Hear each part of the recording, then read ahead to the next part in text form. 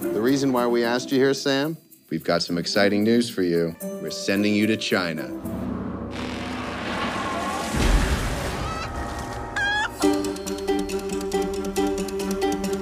Welcome to China. Amanda Wilson, relocation specialist. 我们去浦西淮海路. Speak Chinese? Don't you? 我都替你挂好了。I got nothing. Ever been to China before? I've never been above 79th Street. Let me guess. You only moved here because someone offered you a big promotion. I've seen your type before. My type? Feels like everyone is out to get me. Really shouldn't talk about your people that way.